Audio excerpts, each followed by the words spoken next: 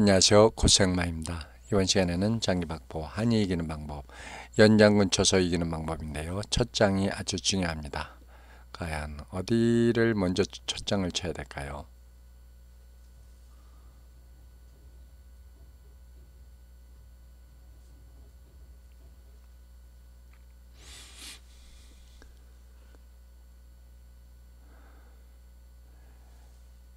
정답을 알아보겠습니다. 지금 첫 장 마장 치면요. 궁이 왼쪽으로 가는 순간에 연장군이 끊어집니다. 한수 장군 치고 끝나요. 그래서 어떻게 해요? 장군, 이렇게 상이 요 들어가면서 포장을 칩니다.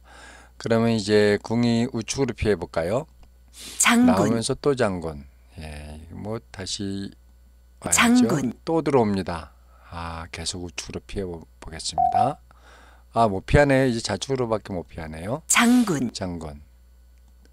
장군, 아, 이거 어떻게 해야 될까요? 왼쪽으로 밖에 못 가는데 장군, 예, 마가 열로 쏙 들어가면은 외통이 됩니다. 그러면은 장군, 이번에는 왼쪽으로 피해 볼까요? 장군, 네, 피해도 마찬가지가 될 장군. 것입니다. 어, 이때 어떻게 할까요? 이렇게 할까요? 장군, 이렇게 놓으면 또 들어가겠는데요. 이번엔 상이 들어가네요. 오호, 그래서 자, 이렇게 요 자리가 아주 급소가 되겠습니다. 이렇게 해서 한이 연장군으로 이기는 방법 알아봤습니다.